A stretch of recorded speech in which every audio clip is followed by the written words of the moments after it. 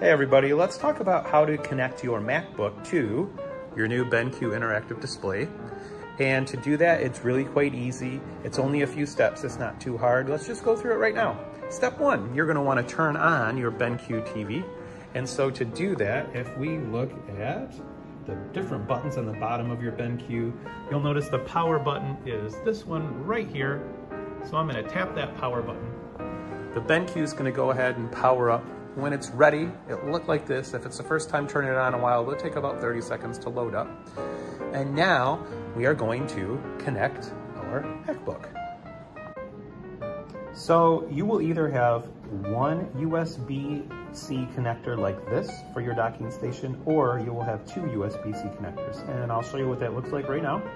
If you have two USB connectors instead of one, it's going to look like this. It's the same functionality as a single connector, However, if you have two, you're simply going to plug both USB connectors into both USB-C ports on the side of your MacBook, just like so, and then you will have full functionality.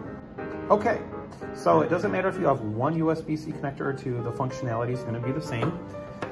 Those USB connectors are gonna plug right here to the side of your MacBook. If you have one, it doesn't matter which port it goes into. If you have two, you do need to plug both in. I'm gonna go ahead and plug this one in. Give me one second. Okay, now we have that USB-C connection plugged in.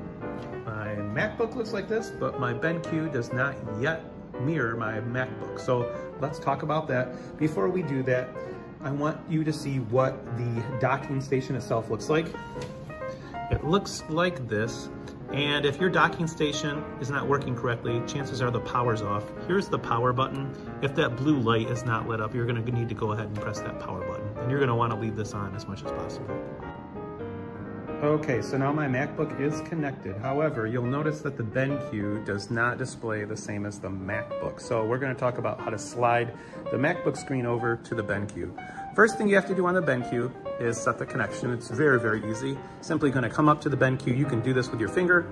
You're going to tap the connection button and you'll notice one of these HDMI options will be highlighted. You're gonna click the highlighted HDMI option. So I'm gonna tap this one.